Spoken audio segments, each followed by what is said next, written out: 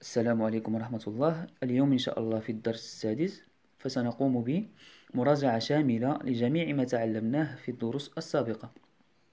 إذا كما تتذكر فقد تعلمنا سبع أحرف وهي حرف الميم وحرف الكاف وحرف اللام وحرف الألف. أيضا الأحرف في الدرس السابق حرف الحاء والجيم وأيضا حرف القاء. وأيضا تعلمنا أربع حركات أساسية ما هي. هذه الحركة الفتحة ثم الكسرة والضمة والسكون. سنبدأ أولا بتصحيح الكلمات التي أعطيتها لك لتقرأها في الدرس السابق. إذا لدينا هذه الكلمة الأولى. نقوم بتقسيمها كما فعلنا مع الكلمات السابقة في الدروس السابقة. لدينا حرف الميم وحرف هل تتذكر ما هذا الحرف؟ بالنقطة في الأسفل. إذا هو حرف نعم الجيم. أيضا لدينا حرف الألف بدون أي حركة. إذا هو حرف مد وأيضا حرف اللام.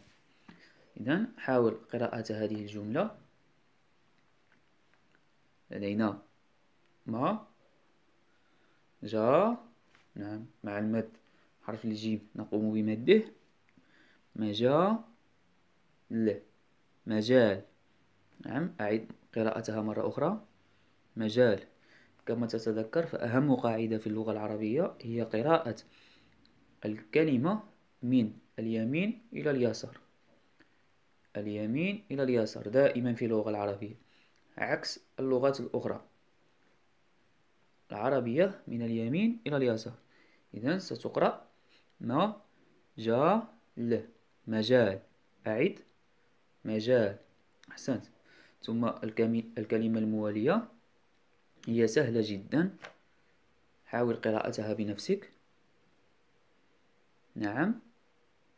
حو هذا الحرف بدون أي نقطة. إذا هو حرف الحاء.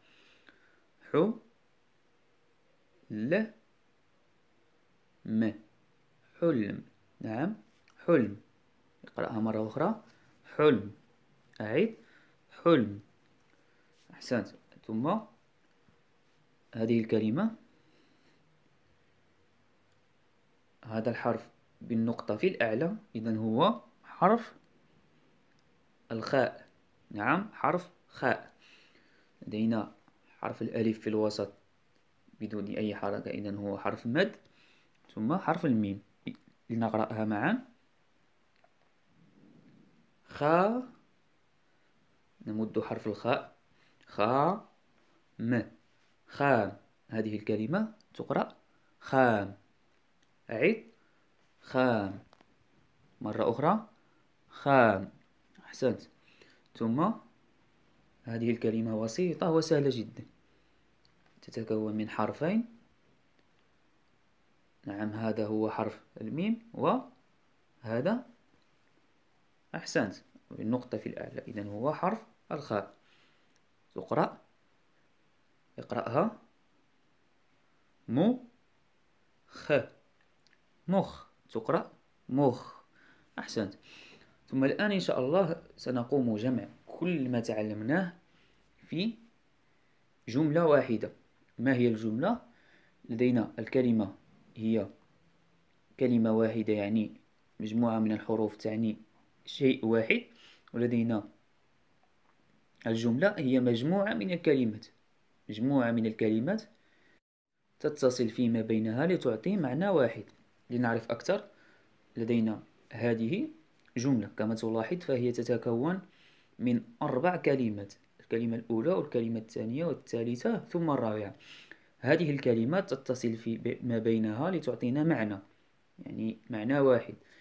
سنحاول قراءتها كاملة معا لنعرف ما المعنى الذي توحي إليه. إذن لنبدأ بالكلمة الأولى. لدينا حرف الألف وهذا ما هو؟ الكاف نعم وهذا اللام. ما الذي سنقرأ هذه الكلمة؟ أ ك لا. أكل. أعيد مرة أخرى. أكل. نعم. أكل. ثم الكلمة الثانية. ك. ماذا سنقرأ؟ حرف الميم؟ ما نمده لأن بعده حرف الألف. كمال. تقرأ؟ كمال. إذا لدينا أكل. كمال. الكلمة الثالثة. لدينا حرف اللام والحاء والميم. حرف اللام مع الفتحة والحاء مع السكون والميم مع الفتحة. إذا تقرأ لا ح ما لحمة. تقرأ لحمة. أعيدها مرة أخرى. لحمة. إذا مرة أخرى الكلمة الأولى. أكل. أكل. كمال. كمال. لحمة. لحمة. إذا تبقت لنا الكلمة الرابعة. لدينا حرف الأول من نقطة في الأسفل يعني حرف الجيم. الميم أصبح حرف سهل نعرفه جميعا واللام حرف سهل؟ إذا ماذا سنقرأ هذه الكلمة؟ جا ما ل جمل. أعيد جمل. إذا نحاول قراءة كل كلمة على حدها من الأول لدينا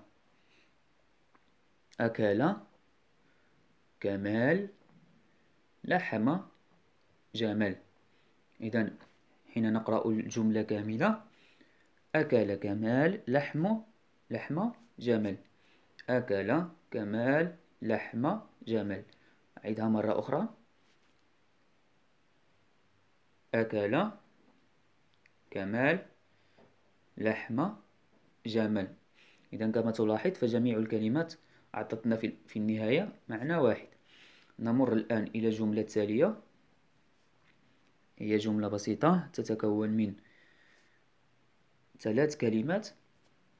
أولا لدينا تذكر هذه لقد قرأناها في الجملة السابقة.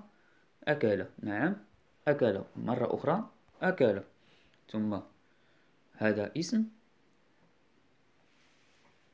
حاول قراءته. نعم. جا ما ل. جمال. أكل. جمال. أحسنت. الكلمة الثالثة.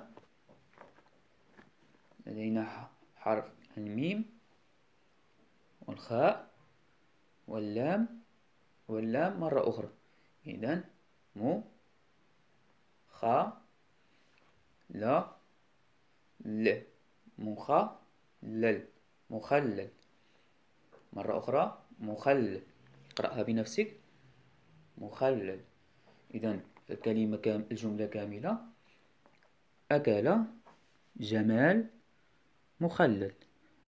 أكل جمال مخلل. مرة أخرى أكل جمال مخلل. أحسنت. إذا حاول كتابة هذه الجمل التي تعلمناها اليوم في في دفترك كما العادة واقرأها بنفسك. إن شاء الله نلتقي في الدرس القادم.